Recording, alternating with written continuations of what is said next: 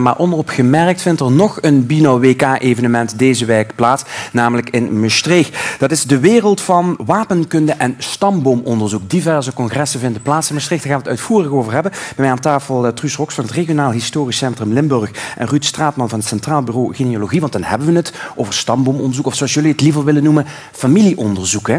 Een uh, congres, een heel belangrijk congres, uh, begrijp ik. Ja, klopt. Wat gaat er gebeuren deze week? Eén keer in de twee jaar kom, uh, komt de internationale wereld van uh, genealogie en heraldiek bij elkaar. Iedere keer in een ander land. Dit jaar is het voor het eerst in een jaar of 50 in Nederland. En we hebben gekozen voor Maastricht vanwege, laten we zeggen, de internationale uitstraling en allure van Maastricht. Ja, een groot, uh, groot evenement. De wereld vliegt in. Maar één evenement willen we een beetje centraal stellen, want dat is voor de gewone Limburger, om het zo maar te zeggen. Dat is een evenement wat jullie voor woensdag hebben bedacht, om het eigenlijk allemaal wat toegankelijker te maken, die genealogie. Want het wordt steeds interessanter, die wereld, hè? Ja, ja, het wordt steeds interessanter, met name door alle moderne ontwikkelingen van uh, digitalisering, uh, steeds meer gegevens die via websites ter beschikking komen. Dus genealogie, familiegeschiedenis wordt steeds meer bereikbaar voor mensen die niet in staat zijn om ook naar een archief te gaan. Mm -hmm. Dat was vroeger altijd noodzakelijk en dat wordt steeds minder noodzakelijk. Het blijft ja. wel heel belangrijk, maar het wordt steeds minder noodzakelijk. Je kunt een start maken zonder. Ja. En dat is prachtig natuurlijk. Ja, Truus, als we gaan kijken, het Regionaal Historisch Centrum in, in Maastricht. Uh, ik werd net al verrast, jullie hebben gewoon bijna van alle Limburgers de informatie. Ja. Uh, zolang het maar binnen de provinciegrenzen van uh, Limburg is, hebben wij de burgerlijke stand, we hebben de nationale militie, we hebben testamenten, we hebben van alles ook toegankelijk over. Uh, dat, over, dat is ook een misvatting. Dat stamboomonderzoek is dat voor belangrijk en dat het moeilijk is. Nee, dat is helemaal niet moeilijk. Enige vasthoudendheid, een gezond boerenverstand en een nieuwsgierigheid, daar kan iedereen een heel eind uh, mee komen. Ja, wat, wat heb je nodig om je stamboek te onderzoeken? en hoe doe je dat? Om je eigen stamboom te onderzoeken, begin je bij je vader en moeder, uh, de geboortedatum van opa en oma. En zo langzamerhand kom je verder in de geschiedenis. En dan vind je uh, in de burgerlijke stand een heleboel data. En die zijn heel interessant, maar wat nog veel interessanter is om, uh, zoals wij dat dan noemen, vlees op de botten te zetten. Van hoe zagen die mensen eruit? Waar woonden ze? Niet alleen in de naam, maar ook een foto, een beeld van zo iemand een te krijgen. beeld van iemand te krijgen. Bij, een verhaal, een verhaal bij, bij wat de... deden ze voor de kost? Waar woonden ze? Wie waren hun buren? Zaten ze in clubjes, verenigingen? Nou ja, bedenk het maar. Maar wat je eigenlijk ook van je broer en je zus en je tante wil weten, wil je eigenlijk ook weten van je opa en je overopa en je overoma. En Mm. probeer het Aanstaande woensdag gaan jullie het uh, laagdrempelig uh, uh, maken. Bij een hele bijzondere dag in het Regionaal Historisch Centrum in, in Maastricht. Mhm. Wat willen jullie daarmee bereiken? Dat het gewoon voor iedereen toegankelijk wordt, dat verleden? Dat zoveel mogelijk mensen uh, kennis nemen van hoe interessant het is om je eigen familiegeschiedenis uit te zoeken. Mhm. Want uh, uh, wij hopen mensen te interesseren die er natuurlijk al heel lang mee bezig zijn, maar ook mensen die het al heel lang eens alles een keer hebben willen doen. En zo van, ja, kan ik dat wel? Heb ik er wat tijd voor? Is dat wel leuk? Maar vooral die tijd. Het En lijkt mij zo, moeilijk, zo, zo lastig, De zoveel tijd kosten. En het kan steeds makkelijker dat mensen thuis na het werk gewoon achter de computer gaan zitten. Via internet kun je al een start maken. Je praat met je opa en je oma of met je tante. Hè. Tante is heel belangrijk hierin. En met je ouders. Eh, eh, je, verzamelt zoveel mogelijk gegevens en vanuit daar ga je verder zoeken. En dat kan steeds meer. Ja. Gewoon eh, na kantooruren, voor- s'avonds s'avonds thuis. eh, Voordat je het weet, zijn we opeens familie van elkaar. Eh, Precies, iedereen is familie van ja. elkaar. Ja, we zijn er net voor de uitzending achtergekomen dat we op dezelfde school in Gelen hebben gezeten. Om Ja, maar eens even wat te noemen ja. hoe gek een balletje kan, kan Ja. rollen.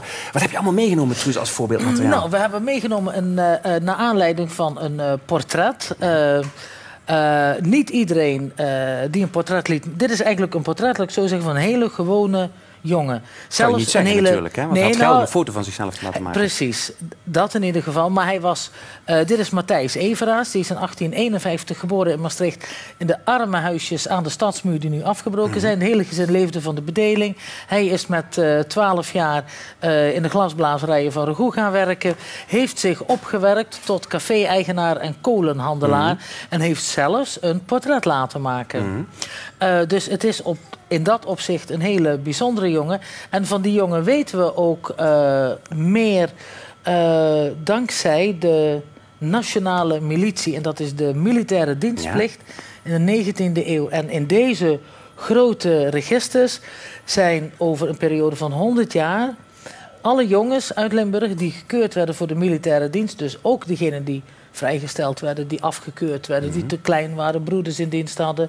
Iedereen die qua leeftijd gekeurd moest worden, staat hierin. Dus hier staan eigenlijk alle Limburgse jongens in met hun en dat is zo interessant. Eigenaardigheden. Met een, een eigenaardigheid. Het signalement, Ruud. Het, Het signalement, dat is iets anders dan Dat eigenaardigheid. heet- Maar lees eens nou, eentje voor. Ja? Nou, bijvoorbeeld Matthijs Everaars, hij daar. Hier hebben we de foto van hem. Ja, daar, de, eh, eh, die was 1,64 meter lang. Die had een smal aangezicht. Die had een laag voorhoofd, blauwe ogen, een spitse neus, een grote mond, een spitse kin, blond haar en blonde wenkbrauwen.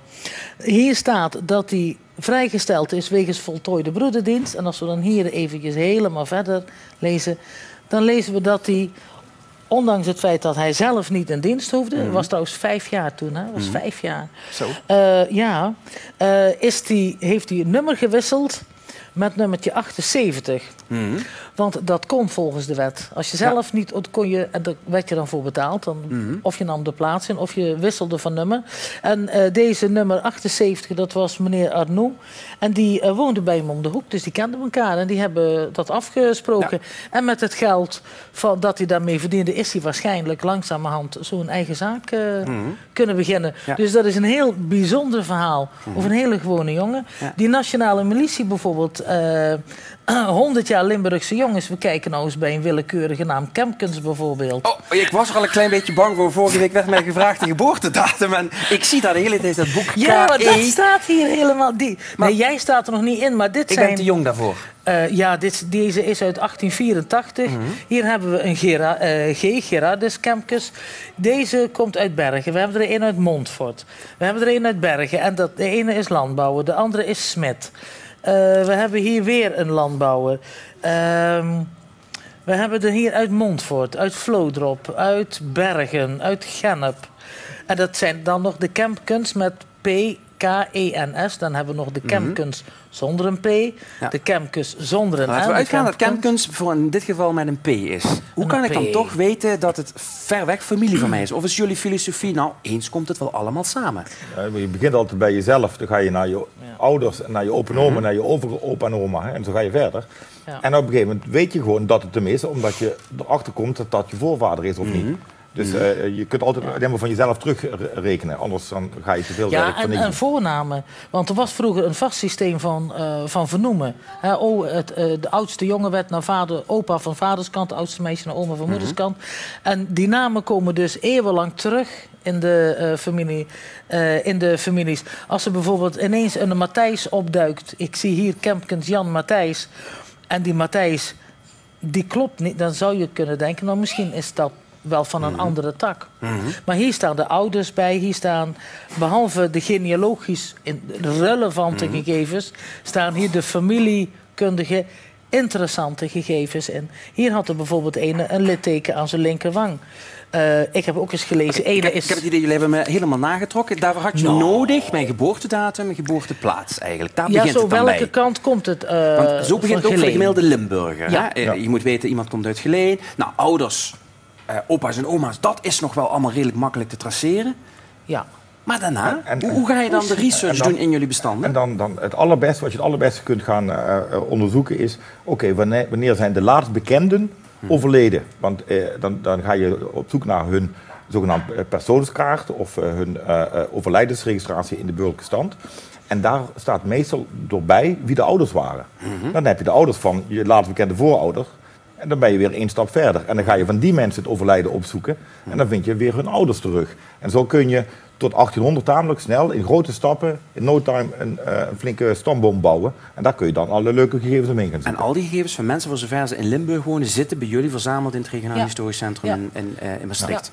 En nog veel meer dan alleen de burgerlijke stand. Eh, bijvoorbeeld memories van successie, die zijn ook zo interessant. Er wordt op het moment van overlijden eh, de vermogenstoestand opgemaakt. Nou, dat kan voor interessante eh, verrassingen zorgen. Staat het hele gezin bij en dan, ja, dan krijg je ook een, een beeld van een familie. Ja, ik heb, mijn, eh, ik heb mijn, mijn roots nooit nagezocht. Zijn er nou dingen die je me toch nog moet gaan vertellen? Je iets... Nou, dat, dat gaan we dan ooit gecensureerd doen. Oké, dan moeten- doen we dat misschien even buiten de Ja, maar uitzending. maar dan toch, in de, werkelijk, in de werkelijkheid ko- kom je mensen wel eens tegen die zeggen van... oh, dat had ik niet geweten van mijn voorouders. Als ik in die boeken ga snuffelen, kom ik dan dingen Nou, tegen die ik misschien liever niet had willen weten. Nee, je- ja, ja dat, nou, ik, heb, ik heb meegemaakt, er kwam iemand op studiezaal en die eh, ging het overlijdens, eh, de overlijdensakte van zijn grootvader. eh, die kwam uit Maastricht, was in Venray overleden. En ja, die was aangegeven. De aangever was een verpleegkundige. Ja, En hij wist helemaal niet dat zijn eh, voorvader daar overleden was. Daar werd in de familie niet over, ge- niet over gesproken. Die mensen die zijn dan wel even de kluts kwijt. Want dan komt Mhm. er... Ja, dat kun je dus dat kun je aantreffen. Maar ja, het maakt wel deel uit van je geschiedenis. Ja, van mij zijn jullie hopelijk niks daarvan tegengekomen. Dan Alleen maar goed. Alleen maar goed, uiteraard. Dat zit in de familietak. Dan kan ik zelf ook mijn eigen familie redelijk tot, laten we zeggen, de Tweede Wereldoorlog terugbrengen. Daarna moeten jullie mij helpen. Wat is dan toch nog de datum tot hoever je ongeveer terug kunt Bij gaan? Waar ligt de- de grens? Nou, bij de, dat heeft met openbaarheid te maken. De overlijdensaktes zijn na 50 jaar openbaar. Mhm. Dus dit jaar is 1962. Alle overlijdens van Helenburg van 1962 zijn dit jaar openbaar. De huwelijken van 1937, want dat is 75 jaar. En de geboorteactes van 1912. Want daar rust een embargo op van 100 jaar. Voor die tijd is alles van de burgerlijke stand openbaar en kun je je familie eh, zo uitzoeken. Op microfiche bij ons op de studiezaal, tegenwoordig ook via internet. eh, En, zijn en als je met die data niet uit de voeten komt, dan kun je altijd bij het Centraal Bureau voor Genealogie in Den Haag terecht. Eh, wij kunnen via de persoonskaarten en eh, de collectie familieadvertenties vaak ook van die periode daarna heel Ja. veel gegevens opduiken. En, dan, dan, en zo gauw jij dan eenmaal over die data van 50, 75 of 100 jaar bent, hè, voor de verschillende soorten bestanden, Mhm. dan kun je vervolgens keurig via internet en via wie was wie, en hoe heet alle mooie websites niet, kun je eh, zelf eh, thuis gewoon achter een computertje met internet een heel eind komen. Eén ding is jullie geluk mij geïnteresseerd te krijgen in mijn eigen familierelatie. Dus dadelijk tijdens de reclame praten wij heel eventjes verder. Maar aanstaande woensdag is natuurlijk een belangrijk moment. Want dan kan iedereen dezelfde ervaring Eén krijgen uur. zoals ik hem Ja, heb. Waar moet ik dan zijn? In eh, het RACL in Maastricht, om te beginnen. Eh, en ook in de... eh, Pieterstraat 7. ook in de, en de Bonbonnière. En in de Bonbonnière. En daar staan 45 verschillende organisaties paraat om jou op weg te helpen. En dan kun je een kickstart maken met een leuk nieuwe hobby. Oké, ik ga kennis nemen van mijn roots. En wilt u dat zelf dan zorgen dat u erbij bent. Aanstaande woensdag, het gaat allemaal plaatsvinden in Maastricht.